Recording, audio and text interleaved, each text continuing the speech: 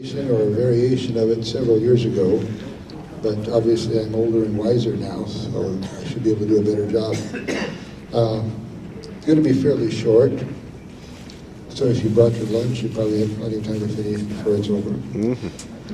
Uh, most of you, I'm, I'm sure, is anybody not familiar with GEOS? I mean, not familiar to use it, but unaware of GEOS? Operating system, a graphic operating system for the Commodore.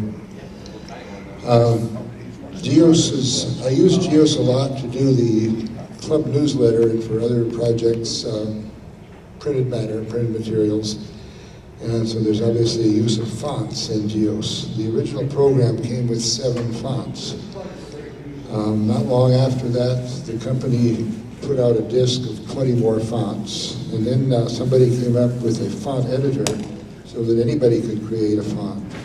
So people started doing that, uploading them to QLink, and I started downloading what was available there, and pretty soon I had too many fonts to know what any of them looked like. And uh, you're ready to publish something, you'd like to say, this font, the names mean nothing for most of them, so I thought, you know, I could make a printout of the fonts I have so that I could look through it and pick out what font looks right for the project I'm working on. So I started doing that, um, put the entire alphabet in each font and all the point sizes of that font. And I came up with something in, somewhere in the neighborhood of 40 to 50 pages. So I thought, well, other people could probably use this. So I put a notice on the discussion boards, GEOS discussion boards on QLink, and offered to send it to anybody for some nominal fee, whatever would cover my mailing and printing costs and stuff. And uh, a number of people ordered it, so I sent it off to them. Then, of course, more fonts came along. People started selling their own discs of fonts, and people kept uploading fonts to QLink. And pretty soon I said, I got to print some more pages. So I came up with another 20 pages or so and offered that as a supplement. And this uh, project, basically, it's uh, one of those things that started out as a very simple, quick little project, and without me realizing it, became an all-consuming monster. So I kept doing this, adding more supplements, and uh, of course, as new customers came along, they'd get the entire book at one time. Uh, ended up with 500 pages of fonts, a little more. And as time went on, I uh, made an index of the font so you could find the font by name quickly. Um, started putting some information about fonts, stuff that I wrote, stuff that other people wrote in newsletters and stuff at the beginning of it. And each time I sent out a supplement, I would put a little cover letter with some information in it. And pretty soon the supplement turned into a newsletter, which you'll find at the back of the book, behind the tab. So anyway, what uh, the bottom line is that I wrote a book 500 pages long, consisting of nothing but the alphabet, and sold it to people.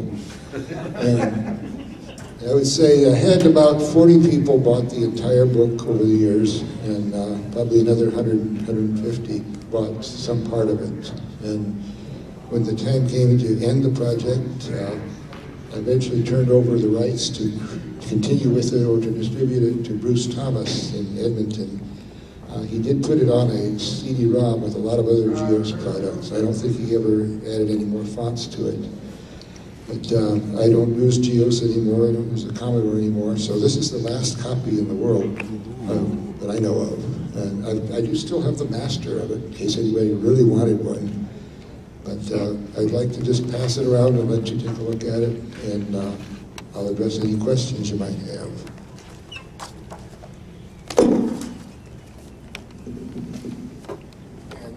Test here is if you can lift it, you're strong enough for sex.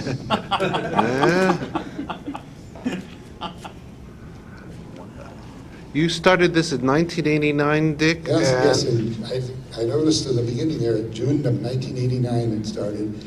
And the, some of the things that are kind of interesting at, uh, at the time, GEOS only recognized seven fonts. Right. So if you had a disk of eight or nine fonts, you couldn't use the last font. You'd have to move it forward in the lineup to be able to use it. And we also learned over the years that uh, each font has an identification number, And if you had, and there was nobody keeping track of the identification numbers, it wasn't like you called up a registry and said, what number can I use? People just picked a number and uh, hoped it was okay. So you'll find maybe five fonts with the same ID number. If you have those fonts on your disk, GEOS will use the first one. So you'd have to move or delete, you'd have to delete the ones that you didn't want to use. So in here, I put the font ID numbers to help people with that, that aspect of it too. Uh, how many fonts would you get per year to p- add into the, the book? Boy, I, I have no idea. I'm not even sure how many fonts are in there, but there's hundreds. And each page probably averages two or three fonts. I, th- I think I came up with, uh, I think I ended up about 1,700 fonts. Wow. Uh, Which is probably more fonts than anyone needs. But uh, people enjoyed creating the fonts. You know, it's an artistic project, it's a graphic project, so people would make uh, all kinds of unusual fonts. And then there were special purpose fonts. You could get a font that printed out barcodes, very nice looking Huh. barcodes. How would you collect these fonts? I bought the, the ones that people were selling, I bought their disc. Um, they were posted on QLink, probably hundreds of them eventually on QLink that you could go in and download. And I made three or four of them myself. Oh. And uh, are they uh, listed under your name somehow in the, the book so we could find out which ones you created? I don't know. you might you might look through all the introductory pages and all the uh, fantastic newsletters at the end and find something out. Okay. I'd have to look to remember myself which ones. Uh, there's one called Fuzzy that I remember that Okay. looks like it has lint on it. Oh. Not anything you need, but it's interesting to create it.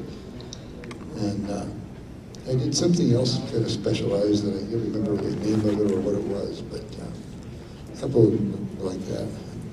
And I had I posted that font on QLink and somebody said, this font could be a lot better. Oh. Well, You could be a lot better too. Oh. Wow. I didn't reply. I said, well, that's not, you didn't say how, so take off the lint.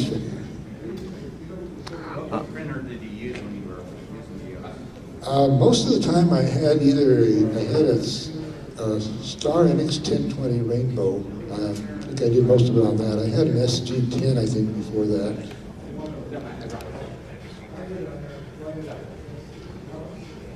did you ever um, consider trying to use the uh, PostScript, I think it was, Adobe for the laser printing? Uh, I looked into that, but it was kind of expensive, so I didn't uh, follow up on it. Uh, we did we did one thing. We did a flyer for our club through a company that would do a, a laser printed thing from your deal, from your Commodore material. We did a very nice job.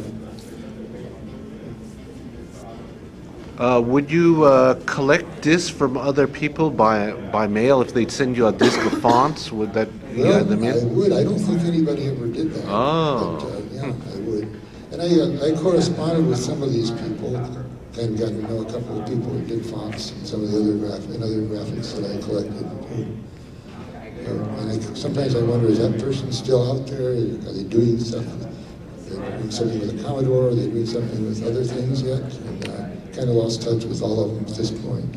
Were were these persons in North America or from Europe? Almost everybody I know is from North America. Uh, did you make contact with the Geos Club in Germany to see if they had any kind of fonts? No, I never had any real contact with any other Geos, any other clubs like that. I did subscribe to two or three different Geos magazines. I know, I was trying to remember, one was Geo Journal, but there was something else, Geo World. too. Geo World, yeah. Yeah, it was out there for a while. So um, I I wrote an article in one of them about fonts, and something about fonts too. Any other questions for Dick? Um, this book does list the fonts you created. Shilling. Shilling. That was the first one. reverse. Shilling. You know why I created that? I created it because I did not could not find an English pound sign anywhere, so I created a font that had that in it, and that's why I just gave the font that name. Also, on font names, I mentioned that they usually didn't have a whole lot to do with what the font looked like. There was one guy in the Maryland, Virginia area, all his fonts were named after rivers in that area. Uh-huh. So you have the Raritan, Raritan, something like that, uh, river names that, uh, you, For somebody who missed the whole presentation, yes, how can I summarize your presentation in one minute? you can read that piece of paper there. Well, that, Is that too difficult? that your presentation? No, that's, basically, that's it. I wrote that up. I know it's about. I wasn't planning to do this. I- You know, I had a an emergency, I went to. Yeah, uh, I, I wrote a book, 500 pages long, consisting of nothing but the alphabet, and sold it to Google. It displays the different look of all the Geos fonts, or many Geos fonts, probably missed a few, I had about 700 fonts in it, and it shows the entire alphabet of each font, each point size. You'll see the book when it comes around. I wasn't planning to do a presentation, but I had the, noticed the book on the shelf, and I wrote this up. It's adapted from stuff I've written before. Um, so it kind of was, was just going to set that out there for people to look at. So you can really get uh, the details of what I said there. And you can also read page after page of blah, blah, blah that I wrote back in the day. and stuff that other people wrote. Dick, I don't know any anything about Geo's font creation. So how do you go about it? Is there a program in Geos that you just load up and and make start making the font? The font editor that I used was created by Jim Collette, which is Oh, a name that probably Jim. is familiar to anybody that was really active in Geos.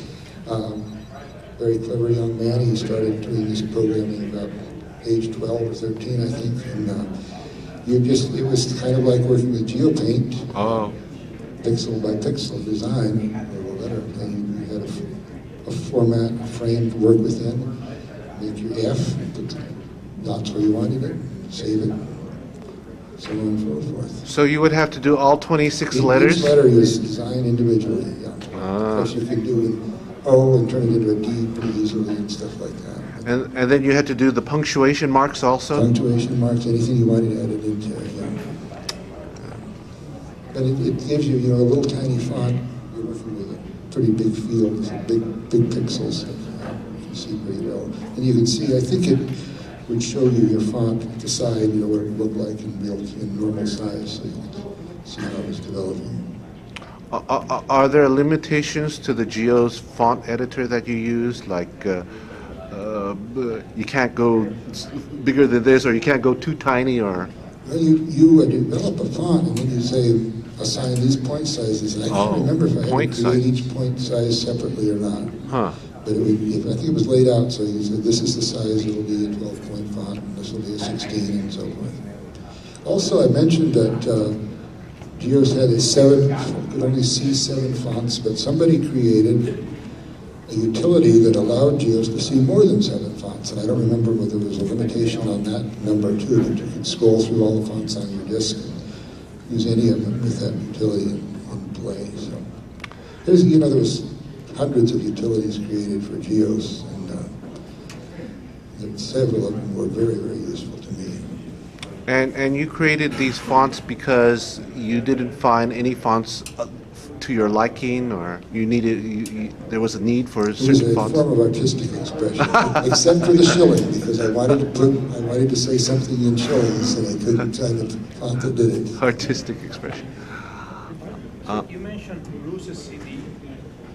What part of the book is on his CD? I'm sorry, what? You, men- you mentioned Bruce. Bruce, Bruce Thomas. Bruce Thomas. Thomas CDs. Yeah. Which? What part of the book is on that It- It's not in it because uh, he was given the rights after everything was completed. But I think I have it, I think I have, um, no, I don't have it here.